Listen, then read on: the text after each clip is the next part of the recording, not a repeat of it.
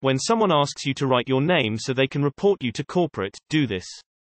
I used to work for a car rental company, I won't say which, but the name accurately describes the employee's daily experience working for them. During my time, the company continuously changed policies regarding debit cards for rentals because of the large amount of fraudulent transactions associated with them. This caused much drama with customers, in particular with return customers who hadn't been in since the policy change. Around the end of each school year, many people rent minivans or SUVs to pick up their kid and a bunch of their stuff from college. I had one such customer who did not qualify for the rental vehicle she reserved. Per my training, I was not allowed to rent anything larger than a sedan because she did not have a credit card. When I informed her that I could only give her a Hyundai Elantra, she became enraged. She stated that the previous year she was able to rent a minivan under a debit card and I informed her that policy had changed since then. She refused to acknowledge that I was doing my job properly.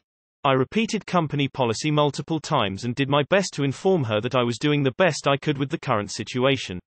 She refused any attempt I made to placate her. My manager eventually stepped in, and he broke down and did the rental for her SUV, against company policy. The entitled woman smirked at me and pushed a stack of post-it notes that was on the counter in front of me. She said, you should not be in customer service and I'm going to report you to corporate. I want you to write your name on this paper. Without missing a beat, I took the pad and wrote the words, your name, on the top sheet, ripped it off, and handed it to her. Apparently she didn't notice until she was in the parking lot with my manager and her husband to inspect the vehicle. When my manager came back in the office, he said, her husband, who stood silently behind his raging wife throughout the whole interaction, wants me to write you up because you didn't give them your real name, then he started laughing and said, but I'm not going to do shit because you followed the company policy and you did exactly what that bitch asked you to do. She gave us a horrible survey and it tanked our bonus for that quarter but it was totally worth it to put that rude woman in her place. Reminds me a bit about the time when I worked graveyards in a kiosk at a gas station. This super drunk woman came walking up wanting to use the restroom. So I buzzed her in. A few minutes later she came out to tell me how messy the bathroom was, and that she wanted my name so she could call and complain to my manager. So I took a sticky note and wrote, thanks for the great time, Dean, on it. So she walked away with it. The next day I get to work and my manager comes in to talk to me. He asks me if I know anything about a lady who was here the previous night and complained about the bathrooms. I said yes, why? He said she came back that day, and wanted to complain about Dean, and how unprofessional he was. My manager's name was Dean. I just started laughing and so did he. One person has the power to tank a location's bonus for the quarter. Neat. Those surveys are so fucking stupid. They expect five stars on everything from everyone and blame any lost stars on the employees. The company policies are often the issue. Hurts lol. Speaking as someone who has never owned a credit card, I completely understand her frustration. Is really as infuriating that the difference between a credit and debit is enough to throw off a plan, when I'm already handing over license and insurance details. But obviously it's not you who writes the company policy.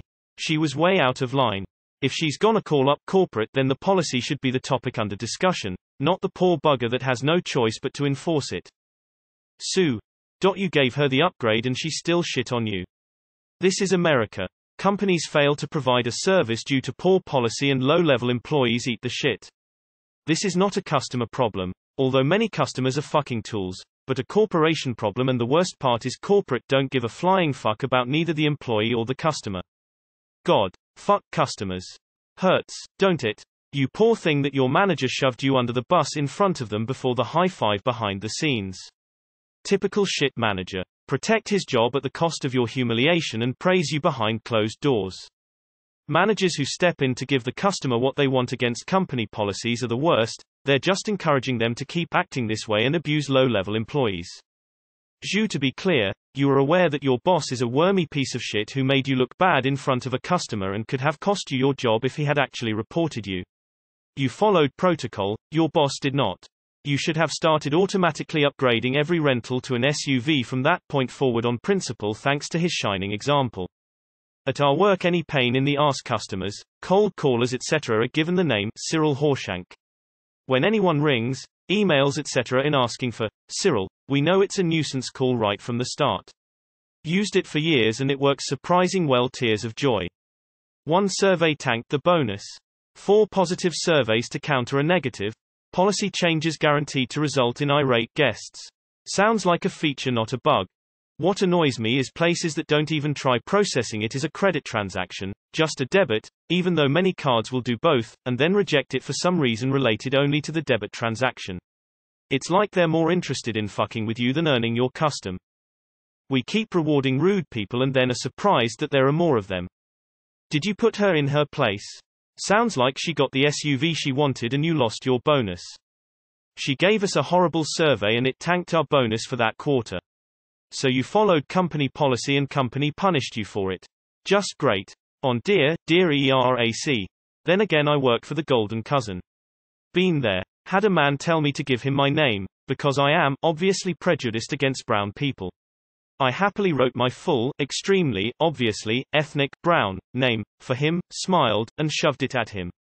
The poor review is still on Google, and I read it every once in a while, just because I need a smile.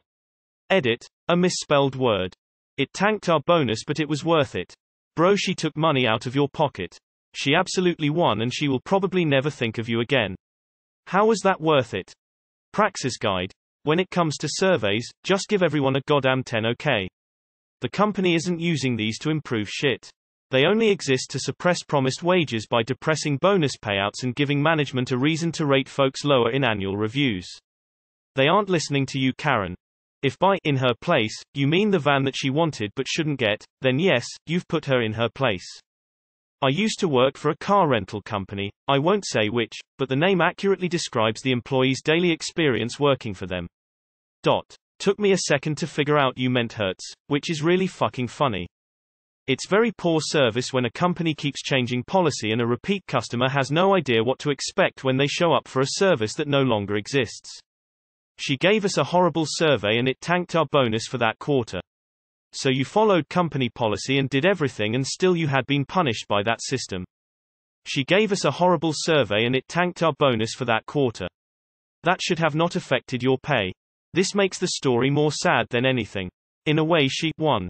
I get that you have to cave with some situations, pick your battles, but I really hate it when staff do their best to follow policies put in place, then management goes around them making that staff member look bad. So basically she got what she wanted and you lost your bonus.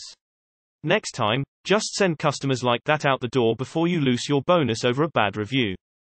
Honestly in-store customer service jobs should have audio and video of the person you're dealing with that way you can submit that feedback back to corporate. Because honestly the way that woman was treating you was terrible and she should be blacklisted. To be fair, she wasn't ever going to give you a good survey response so you didn't do anything wrong in my book. Years ago I was working at an event venue that was very strict about opening the bar early or keeping it open late for clients. Well, one night we were doing a charity gala and one of the chair's husbands had already been overserved and although the bars were closed and the event was over, he kept trying to get more drinks. He was using the typical, don't you know who I am? stuff but nobody cared. He really started in on one of my best bartenders, named Ed, because he wouldn't serve him, and the resulting conversation was pure gold. Remember, this guy was super hammered. Drunk. What's your name? Ed. Gesturing to his name tag that says Ed Mark. Drunk. What's your last name Mark? Ed. It's irrelevant. Drunk. I'm going to get you fired. Mark irrelevant. Stumbles off. I would have pulled a Glengarry Glen Ross and fired back with, You want my name? Fuck you. That's my name. You lost. She got what she wanted and you lost money. I don't think I could work in a place where someone had made it so miserable, only for some spineless manager to come in and give her the W. I don't think I'd have been able to stop myself writing, get a fucking grip you spoiled old bitch. While I was still working at my old job a client wanted the name of one of my colleagues so he could make a complaint about him, I gave them my name instead since I had already given my two weeks notice. I'm sure there was a very bad review on me in a survey, which DIDNT make any sense since IDIDNT even worked the same position as the actual guy they were complaining about. Wow. Fuck that manager. The correct response is, my employee correctly followed the company policies. Please make a decision from the available options or leave. Hurts. Cause it hurts. One frustrated customer doing a horrible survey for revenge could tank the bonuses for the entire office. A healthy company shouldn't tie bonuses on customer feedback. Good job though. Your manager made a mistake. When a company will deviate from company policy to satisfy a customer, the message needs to come from the person who initially presented the hurdle. In that case, you. In the eyes of the customer, you presented the company policy, they complain and you found a solution to them. Your manager was probably not trained on how to handle clients, unfortunately. Fuck your boss too. People like your boss are the reason people like that act the way they do. They know if they just stomp their feet and scream some, some pathetic, weak-spinned manager will give them exactly what they want. Sounds like the manager undermining you made it look like you'd done an improper job.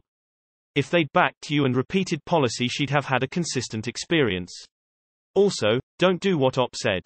It's opening you up to being a douche and passive-aggressive and rude. She would have wrote the shitty survey anyways, that bonus was gone from the moment she walked in the door, so don't feel bad about the post-it. You made comedy gold out of a shitty situation. What I'm getting out of this story is that if I don't get what I want from an employee I just scream and berate them until they give me what I want. Absolutely disgraceful on your boss's part. This is exactly why bonuses shouldn't rely on customer surveys. Feedback the general public are completely unreasonable and cannot be trusted. Sounds to me like she won, got the car she wanted and tanked your bonus without needing your name. Win-win for her. These are the monsters that are created when managers constantly give them what they want to get them out of their hair. People honestly need to stop doing this. But I'm not going to do shit because you followed the company policy and you did exactly what that bitch asked you to do. He talks a good game when he's back inside but at the counter he threw you under the bus, rewarded CNTY behavior, and got a horrible survey anyway. Always hated how a single survey can tank an entire month. Whoever came up with that terrible math to justify it needs to have continuous punches to the forehead applied until they convince people that it was a stupid idea. I always, always tell them my name. Then I call my supervisor and put him on speaker so we can all have a little chat. The looks I get when they realize I am not afraid of them and their only weapon has no power is priceless. The situation tends to resolve itself after that.